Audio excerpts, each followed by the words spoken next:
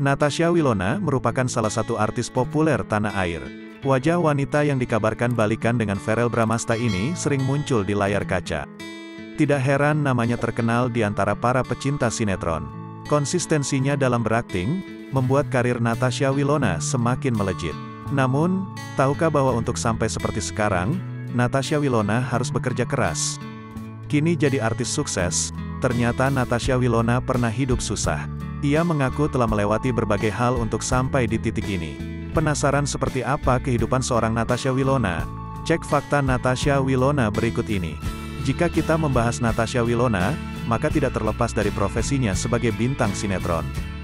Bisa dibilang, Natasha adalah artis yang populer di berbagai kalangan masyarakat. Anak muda hingga ibu-ibu rumah tangga penggemar sinetron pasti kenal dengan artis muda satu ini. Sukses di usia muda, Natasha Wilona telah terjun ke dunia hiburan sejak berusia 10 tahun. Sepertinya bakat akting Natasha Wilona sudah ada sejak kecil. Itulah kenapa banyak tawaran main film meski dirinya baru berusia 10 tahun. Menunjukkan kemajuan dalam hal berakting, kini Natasha Wilona telah membintangi banyak sinetron. Natasha Wilona memulai karir aktingnya pada tahun 2014 silam. Hingga kini, dia telah membintangi berbagai judul sinetron dan film. Serial terbarunya di tahun 2022 ini di antaranya adalah Dikta dan Hukum. Berkat keuletannya, kerja keras Natasha Wilona pun mendapatkan hasil. Selain Bajir Job, Natasha juga mendapat banyak penghargaan untuk aktingnya. Ia juga sering masuk nominasi dalam berbagai acara penghargaan bergengsi. Selain berakting, Natasha Wilona juga dipercaya untuk mengisi lagu tema untuk film maupun sinetronnya. Contohnya ia menyanyikan Cinta Takkan Kembali, yang merupakan lagu tema dari film Aku Tahu Kapan Kamu Mati. Siapa sangka, Natasha Wilona yang kini menjadi artis sukses ternyata berasal dari keluarga yang broken home. Perjuangannya sebagai anak yang tumbuh tanpa sosok ayah membuat Wilona menjadi pribadi yang kuat dan pekerja keras. Meski menjadi pesinetron yang sukses, namun Natasha tidak langsung berpuas diri. Ia juga menjalankan beberapa bisnis yang menjadi sumber penghasilan lain untuknya.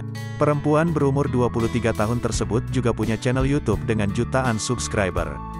Jika melihatnya sekarang, tidak akan ada yang mengira jika Natasha Wilona juga pernah hidup susah. Ia mengaku pernah tinggal di rumah yang kurang kayak ditempati. Namun, hal tersebut justru dijadikan pelajaran berharga olehnya. Pemeran Naura dalam serial web Little Mom tersebut merasa bersyukur karena bisa memiliki rumah yang layak. Itu dia beberapa fakta tentang Natasha Wilona. Gimana? Udah mulai kenal ya dengan sosok yang kabarnya balikan sama Ferel ini?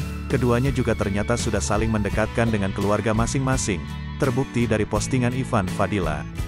Yang memperlihatkan Bunda Sarni, Mama Teresia, hingga Ivan Fadila sendiri bertemu di suatu tempat.